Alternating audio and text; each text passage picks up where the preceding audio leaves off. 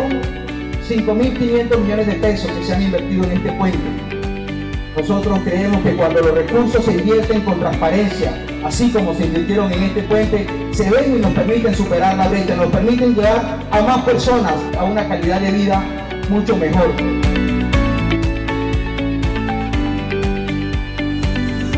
Esta vía y sobre todo este puente es muy importante para la movilidad en Santa Marta, puesto que la cuarta es la arteria principal que conecta al rodadero con el centro histórico.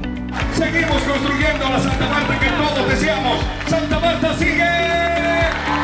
Santa Marta sigue.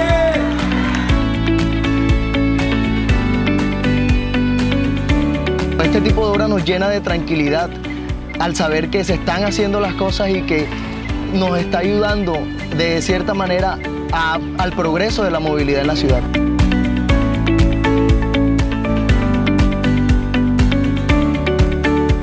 Debemos estar unidos por el cambio. Santa Marta, ciudad del buen vivir.